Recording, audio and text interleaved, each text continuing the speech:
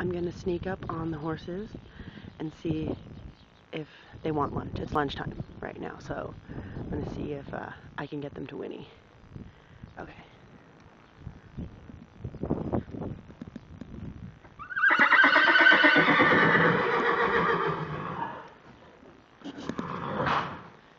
Oh, hi guys. All right, we have Levi, Lakota. Oh, hungry. Abby, we call her Grandma. Alexander, maybe he'll stick his head out in a second. Steele.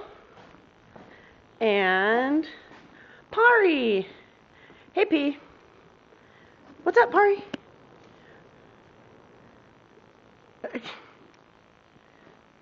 You guys are funny. Coda. Coda. Hi, Coda. Are you hungry? You want lunch? Okay. Hi, Levi. You want some lunch? Oh, okay. All right, guys. Wait, let's see if we can say hi to Alex. Oh. Move over, Grandma. Come here, Alex. Come say hi. Come on.